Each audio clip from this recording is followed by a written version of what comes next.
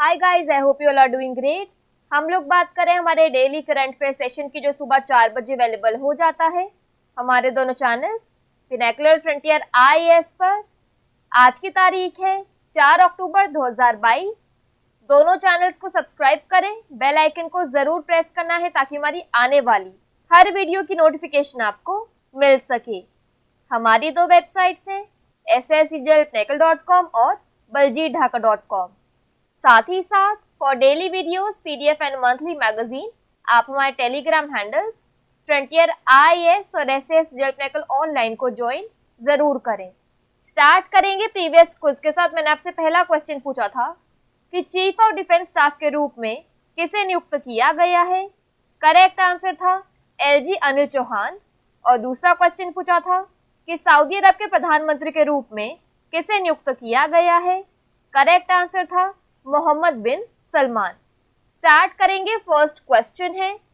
संयुक्त राष्ट्र SDG action awards में चेंज मेकर पुरस्कार किसने जीता है? करेक्ट आंसर है सृष्टि बख्शी। डिटेल्स देख लो। तो मार्केटर से महिला अधिकार कार्यकर्ता बनी सृष्टि बख्शी को लिंग आधारित हिंसा का सामना करने और सार्वजनिक स्थानों पर सुरक्षित पहुँच की वकालत करने के लिए संयुक्त राष्ट्र एसडीजी एक्शन अवार्ड में चेंज मेकर पुरस्कार से सम्मानित किया गया। पुरस्कार संयुक्त राष्ट्रीय, एसडीजी कार्यवाही अभियान, एक स्वस्थ ग्रह पर अधिक स्थायी, भविष्य की दिशा में कार्यवाही करने के लिए लोगों को मोबिलाइज इंस्पायर और कनेक्ट करने की पहल की मांग करता है।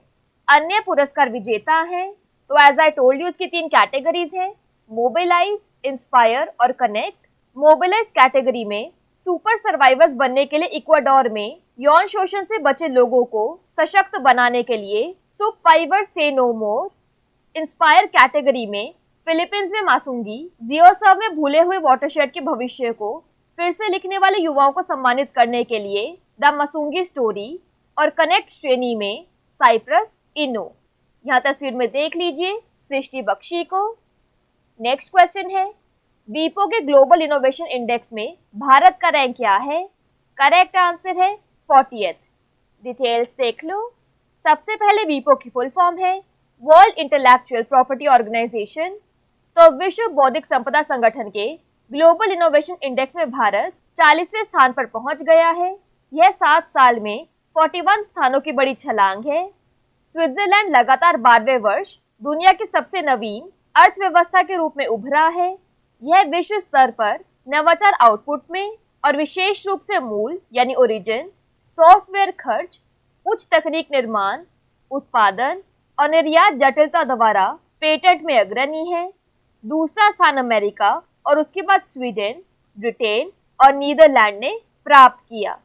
नेक्स्ट क्वेश्चन देखो। कांग्रेस की वरिष्ठ नेता जयंती पटनायक का निधन हो गया।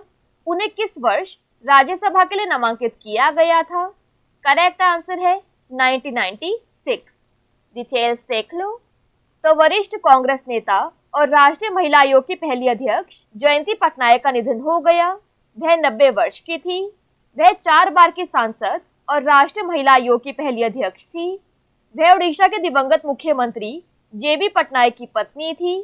वह 1981, 1984, 1999 में कटक और बिरहामपुर लोकसभा क्षेत्रों से चुनी गई। और 1996 में राज्यसभा के लिए नामांकित हुई। यहाँ उन्हें तस्वीर में देख लीजिए। नेक्स्ट क्वेश्चन देखो। हिताची स्टेमो ने भारत में अपना पहला सौर ऊर्जा संयंत्र स्थापित किया। वह किस राज्य में स्थापित है? करेक्ट आंसर है महाराष्ट्र। डिटेल्स देख लो। तो हिताची स्टेमो ने महाराष्ट्र में जलगांव विनिर्माण संयंत्र में भारत का पहला सौर ऊर्जा संयंत्र स्थापित किया है। तीन मेगावाट सौर ऊर्जा संयंत्र 43,301 वर्ग मीटर के क्षेत्र में बनाया जाएगा। Ground mounted solar power plant में 7,128 ग्राउंड माउंटेड सोलर पैनल और 10 इन्वर्टर शामिल होंगे। हिताची स्टेमो ऑटोमोटिव और परिवहन घटकों के विकास निर्माण बिक्री और सेवा के लिए जाना जाता है। यह सौर ऊर्जा संयंत्र भारत में सतत ऊर्जा के क्षेत्र में अपनी नई यात्रा की शुरुआत करेगा। हिताची 2050 तक अपने कार्बन उत्सर्जन को कम करने और कार्बन न्यूट्रल बनने के लिए काम कर रही है। इस संयंत्र के साथ कंपनी हर साल करीब 4000 टन कार्बन डाइऑक्साइड उत्सर्जन को खत्म करने में सक्षम होगी। यह लगभग डेढ़ लाख पेड़ लगाने के बराबर होगा। यहाँ तस्वीर में देख लीजिए। बात करें यहाँ पर महाराष्ट्र की तो इसकी वर्ल्ड हेरिटेज साइट्स में आता है Ajanta Ellora caves, Elephanta caves Victorian Gothic and Art Deco ensembles Mumbai. National park में आता है, Sanjay Gandhi national park Gugamal national park Tadoba national park Maharashtra की कैपिटल है मुंबई गवर्नर है Bhagat Singh Koshyari chief minister Eknath Shinde. Next question देखो। स्वच्छ सर्वेक्षण पुरस्कार 2022 में किस शहर ने प्रथम स्थान प्राप्त किया? करेक्ट आंसर है इंदौर। डिटेल्स देख लो। तो स्वच्छ सर्वेक्षण ग्रामीण 2022 पुरस्कार, प्रमुख मात्रात्मक और गुणात्मक स्वच्छ भारत, मिशन ग्रामीण मानकों और ग्रामीण समुदाय की स्वच्छता की स्थिति में सुधार के लिए उनके प्रदर्शन के आधार पर राज्यों और जिलों को रैंक करता है। बात करें यहाँ पर कैटेगरीज की तो बड़े राज्य वर्ग, तेलंगाना ने प्रथम पुरस्कार जीता, हरियाणा दूसरे और तमिलनाडु तीसरे स्थान पर रहा। छोटे राज्य और केंद्र शासित प्रदेश, अंडमान और निकोबार ने पहला स्थान हासिल किया, उसके बाद दादर और नगर हवेली और दमन और दीव और सिक्किम ने दूसरा स्थान हासिल किया। नेक्स्ट कैटेगरी है सिटीज़ यानी शहर। तो मध्य प्रदेश के इंदौर शहर को लगातार छठे वर्ष पूरे भारत में सबसे स्वच्छ शहर घोषित किया गया है, जिसमें सूरत और नवी मुंबई अगले दो स्थान पर हैं। राष्ट्रपति द्रौपदी मुर्मू ने पुरस्कार प्रदान किए। यहाँ तस्वीर में देख लीजिए बात करें यहाँ पर मध्य प्रदेश की तो इसके डैम्स रिवर्स में आता है, Gandhi Sagar dam Chambal, Indira Sagar dam Narmada. National parks में आता है, Kanha tiger reserve Panna national park Pench national park और बंधवगढ़ नेशनल पार्क मध्य प्रदेश की कैपिटल है भोपाल गवर्नर है Mangubhai Chhaganbhai Patel chief minister Shivraj Singh Chouhan. World heritage sites में आता है बुद्धिस्ट मॉन्यूमेंट्स एट सांची और Khajuraho group of monuments next question देखो। भारतीय डेटा सुरक्षा परिषद डीएससीआई के सीईओ के रूप में किसे नियुक्त किया गया है? करेक्ट आंसर है विनायक गोडसे। डिटेल्स देख लो। तो विनायक गोडसे को भारतीय डेटा सुरक्षा परिषद के सीईओ के रूप में नियुक्त किया गया है और एक अक्टूबर से इस पद पर कार्य करना शुरू कर दिया है। भारतीय डेटा सुरक्षा परिषद बोर्ड की एक चयन समिति, जिसका नेतृत्व वर्तमान अध्यक्ष राजेंद्र एस पवार, भारतीय डेटा सुरक्षा परिषद के पूर्व अध्यक्ष डॉक्टर एन बालकृष्णन नेस्कॉम के अध्यक्ष और बोर्ड के अन्य सदस्यों ने फैसला किया। वह इसकी नींव से डीएससीआई का हिस्सा रहे हैं और उन्हें दूर संचार बुनियादी ढांचे, सूचना सुरक्षा और आईटी परिवर्तन में 27 से अधिक वर्षों का अनुभव है। उन्होंने राम वेद श्री से पदभार संभाला, जिन्होंने छह साल से अधिक समय तक डीएससीआई का नेतृत्व किया। यहाँ पर एक्स्ट्रा इन्फॉर्मेशन की बात करें, आपके लिए बहुत इंपॉर्टेंट है। तो रजनीत कोहली को ब्रिटानिया का नया सीईओ नियुक्त किया गया। एक बार क्वेश्चन वापस से चेक करते हैं। तो विनायक गोड से करंट सीईओ बनाए गए हैं। राजेंद्र एस पवार डीएससीआई के चेयरमैन हैं। राम वेदश्री को रिप्लेस किया गया है। और रजनीत कोहली ब्रिटानिया के सीईओ बनाए गए हैं। यहाँ विनायक गोडसे को तस्वीर में देख लीजिए। नेक्स्ट क्वेश्चन देखो। राष्ट्रीय पेंशन प्रणाली दिवस एनपीएस दिवस कब मनाया गया? करेक्ट आंसर है एक अक्टूबर को। डिटेल्स देख लो।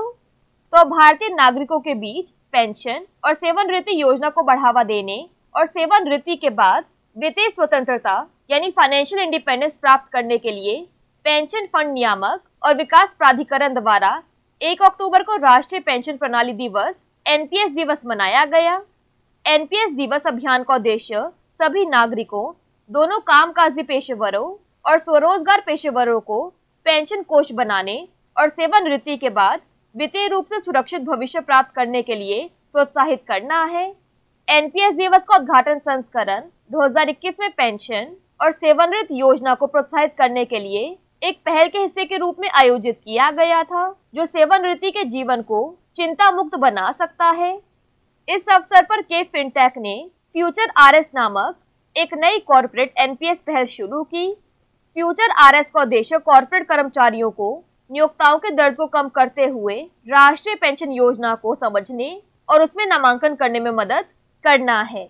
यहाँ पर एक्स्ट्रा इन्फॉर्मेशन की बात करें तो वृद्ध व्यक्तियों का अंतर्राष्ट्रीय दिवस एक अक्टूबर को मनाया जाता है।